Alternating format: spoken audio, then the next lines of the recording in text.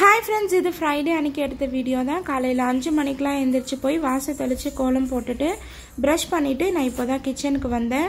வந்த உடனே எம்டி ஸ்டொமக்கில் வந்து இந்த ட்ரை பிளாக் ரைசன்ஸ் ஊற வச்சுருந்தேன். அதோட தண்ணியை தான் எடுத்துக்க போகிறேன் இது வெயிட் லாஸ்க்கும் ஹெல்ப் பண்ணும். ஹேர் ஃபால் இருந்தாலும் நம்ம கண்டிப்பாக எடுத்துக்கலாம். ரொம்ப யூஸ்ஃபுல்லாக இருக்கும். அண்ட் இந்த கிரேப்ஸையும் நம்ம வந்து அப்படியே சாப்பிடலாம். குழந்தைங்களுக்கும் கொடுக்கலாம். இது ரொம்பவே நல்லது. பட் வெயிட் லாஸில் இருக்கிறவங்க ஒரு அஞ்சுலேருந்து எட்டு வரைக்கும் எடுத்துக்கோங்க. அதுக்கப்புறம் நான் செய்கிற ஃபஸ்ட்டு வேலை வந்து கெட்டிலில் ஹாட் வாட்டர் வைக்கிறது. கொஞ்ச நேரம் கழித்து நம்ம வார்மாக வாட்டர் குடிச்சிட்டு அதுக்கப்புறம் தான் நான் வந்து கிச்சன் வேலையெல்லாம் ஸ்டார்ட் பண்ணுவேன். அண்ட் இன்றைக்கி பிரேக்ஃபாஸ்ட்டுக்கு பார்த்திங்கன்னா நான் இட்லி தான் செஞ்சிட்ருந்தேன். பாப்பா அவங்களையும் எழுப்பி விட்டாச்சு. அவங்களுமே படிச்சுட்டு இருந்தாங்க. அண்ட் நான் வந்து லஞ்சுக்கெல்லாம் ரெடி பண்ணி வச்சுட்டு அதுக்கப்புறமா இட்லி ஊற்றிட்டு இருந்தேன். அப்போ தான் அவங்க குளிச்சுட்டு வந்தோடனே சாப்பிட்றதுக்கு கரெக்டாக இருக்கும். நான் இன்றைக்கி வந்து சாம்பார் தாங்க வச்சேன் இட்லிக்கு தொட்டுக்கிறதுக்கு. அதே சாம்பாரை லஞ்சுக்குமே நான் கொடுத்து விட்டுட்டேன். ஸோ மிளகாலாம் கிள்ளி போட்டு வச்சனால இது டிஃபனுக்குமே நல்லாயிருக்கும் அண்ட் லஞ்சுக்குமே நல்லாயிருக்கும். சைட் பை சைடு வந்து நான் சாம்பாருமே ரெடி பண்ணிட்டேன். இது கதம்ப சாம்பார் எல்லா வெஜிடபிள்ஸும் போட்டு வச்சுருந்தேன் அண்ட் இட்லியும் சாம்பாரும் ரெடி ஆயிடுச்சு. அவங்க குளிச்சுட்டு வந்தோடனே அவங்களுக்கு பிரேக்ஃபாஸ்ட் வச்சு கொடுத்துட்டு அதுக்கப்புறம் பார்த்திங்கன்னா லஞ்சுக்கு வந்து சைட் டிஷ்க்கு வந்து பொரியல் தான் பண்ணிகிட்ருந்தேன் பீட்ரூட்டும் உருளைக்கிழங்கும் போட்டு மசாலா மாதிரி பண்ணிகிட்ருந்தேன் இது தேங்காய் துருவி போடாமல் லைட்டாக மட்டன் மசாலா போட்டு ஃப்ரை பண்ணோம் அப்படின்னா சாம்பாருக்கு சாப்பிட்றதுக்கு ரொம்பவே நல்லாயிருக்கும். எண்ணெய் ஊற்றிட்டு அதில் கொஞ்சமாக சோம்பு கருவேப்பிலை பூண்டு தட்டி போட்டுட்டு பீட்ரூட்டு உருளைக்கிழங்கு அதுக்கப்புறம் மசாலா போட்டு லைட்டாக நம்ம இந்த மாதிரி வதக்கிட்டு தண்ணி ஊற்றி வச்சுட்டா போதும். காய் வந்து ரொம்ப வதக்கிட்டு இருக்கணும்லாம் அவசியம் இல்லை. இனி இந்த தண்ணி வத்தினதுக்கப்புறம் பார்த்திங்கன்னா இந்த மாதிரி தான் இருக்கும். காரமாக இருக்கிறனால கொஞ்சமாக நான் தேங்காய் எண்ணெய் அதில் மிக்ஸ் பண்ணியிருக்கேன் அதனால தான் ஆயிலியாக தெரியுது.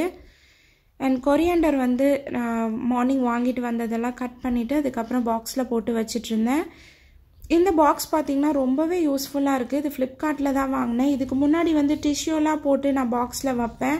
அதுவுமே கூட கெட்டு போயிடும். பட் இந்த பாக்ஸில் வைக்கிறதுனால ஒரு டென் டேஸ்க்கு நல்லா ஃப்ரெஷ்ஷாகவே இருக்குது அண்ட் பால் வந்து நிறைய இருந்துச்சு. ஸோ மத்தியானத்துக்கு நம்ம வந்து உர ஊற்றி வச்சிடலாம் அப்படின்ட்டு நான் தயிருக்காக தான் உர ஊற்றி வச்சிட்டு இருந்தேன்.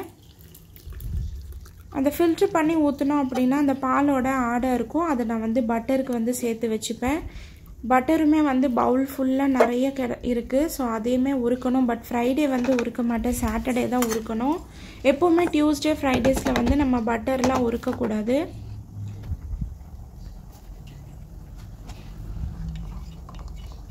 ஸோ இந்த மாதிரி மிக்ஸ் பண்ணி வச்சிட்டோம் அப்படின்னா மத்தியானத்துக்கு சூப்பராக புளிச்சிரும் தயிர். அதுக்கப்புறம் பார்த்தீங்கன்னா நான் லஞ்ச் எல்லாம் பேக் பண்ணி கொடுத்து அமுச்சாச்சு. இப்போ நான் வந்து ஒரு ஹேர் பேக் போடலாம். சரி இன்றைக்கி ஃப்ரைடே ஆயில் பாத் தானே எடுப்போம் அப்படின்ட்டு ஹேர் பேக்காக தான் பண்ணிகிட்ருந்தேன் இது வந்து தேங்காவை நல்லா அரைச்சி அதில் இருக்க பால் எடுத்து ஹேர் பேக் போடுறது. கோகோனட் மில்க் ஹேர் பேக் இது வந்து காலேஜ் டேஸில் வந்து வீக்லி ஒன்ஸ் நான் வந்து பண்ணிகிட்டு இருந்தேன் பட் இப்போ டைமே இருக்கிறதில்ல ஸோ அதனால தான் பண்ணவே முடியல. பட் ஆனால் பட் ஹேர் வந்து ரொம்ப ட்ரையாக இருக்குது அண்ட் ஹேர் ஃபாலுமே இருக்குது ஸோ அதனால தான் கொஞ்சம் மெனக்கெட்டு பண்ணலாம் அப்படின்னு நான் இன்றைக்கி பண்ணிகிட்ருந்தேன் தேங்காய் பால் எடுத்து நம்ம அப்படியே கூட தலைக்கு யூஸ் பண்ணலாம். பட் இந்த மாதிரி நம்ம அடுப்பில் வச்சு சூடு பண்ணோன்னா அது கொஞ்சம் பேஸ்ட் மாதிரி கிடைக்கும். ஸோ அப்ளை பண்ண ஈஸியாக இருக்கும். அண்ட் அதோட தேங்காய் பூவெலாம் பார்த்திங்கன்னா நான் ஒரு டிஃபன் பாக்ஸில் போட்டு ஃப்ரிட்ஜில் ஸ்டோர் பண்ணி வச்சுட்டேன். நீங்கள் நல்ல காட்டன் க்ளோத்தில் வந்து இந்த மாதிரி தேங்காய் பால் ஃபில்ட்ரு பண்ணுறீங்கன்னா அந்த பூவை வந்து நம்ம குக்கிங்க்கு யூஸ் பண்ணிக்கலாம். நான் அது வந்து புது கர்ச்சீஃப் தான். நான் இந்த மாதிரி ஃபில்ட்ரு பண்ணுறதுக்கு மட்டும்தான் யூஸ் பண்ணிவிட்டு அப்புறம் வாஷ் பண்ணி ஃப்ரிட்ஜில் வச்சுருவேன். அண்ட் தேங்காய் பாலும் நல்லா வற்றி நமக்கு ஒரு பேஸ்ட் மாதிரி வந்துருச்சு. அது கூடவே வந்து நான் ஆல்மண்ட் ஆயில் தான் யூஸ் பண்ணியிருக்கேன் கொஞ்சம் நிறைய ஊற்றிட்டேன் போல். நீங்கள் வந்து ஒரு டூ ட்ராப்ஸ் இல்லை த்ரீ ட்ராப்ஸ் யூஸ் பண்ணிக்கோங்க. அதுவே கரெக்டாக இருக்கும். எனக்கு ரொம்ப ஆயிலியாக ஆயிடுச்சு. அதை நல்லா வந்து நம்ம ஸ்கேல்ப்லேருந்து அடி முடி வரைக்கும் நல்லா நம்ம வந்து தேய்ச்சிக்கணும். நல்ல நுனி வரைக்கும் நம்ம வந்து அப்ளை பண்ணி விட்டுட்டு ஒரு பன் போட்டுக்கலாம்.